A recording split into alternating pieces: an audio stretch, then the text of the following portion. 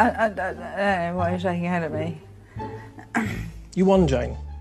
Oh my god. Enjoy the money. I hope it makes Oh you my very God. happy.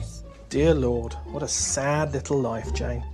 You ruined my night completely so you could have the money, but I hope now you spend it on getting some lessons in grace and decorum, because you have all the grace of a reversing dump truck without any tyres on. I don't get it. Well, you wouldn't, let's be honest, there's nobody in there, love. so, Jane, take your money and get off my property. So, uh, Well done, Jane. thanks.